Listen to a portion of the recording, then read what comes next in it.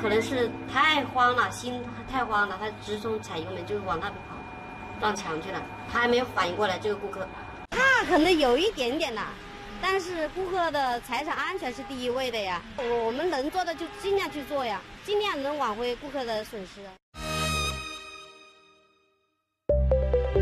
离视频客户端全新上线。